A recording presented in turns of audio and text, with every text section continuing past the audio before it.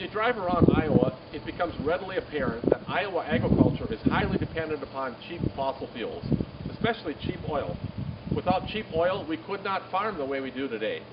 The problem is that we are at the end of the cheap oil era, so we have to make plans for how we're going to transition, how we're going to power Iowa agriculture in the future. And there are some really exciting possibilities out there.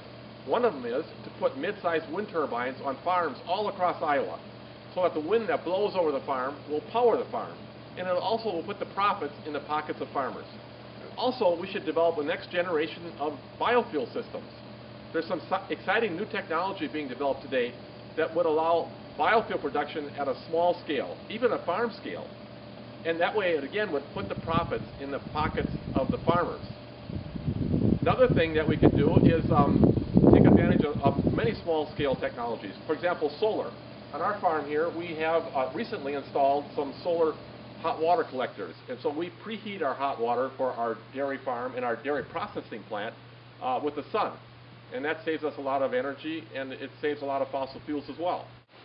There are a lot of opportunities we could take advantage of right here in Iowa to produce safe, healthy food for Iowans, to make our farms and our whole state more energy self-sufficient, and to help rebuild our economy.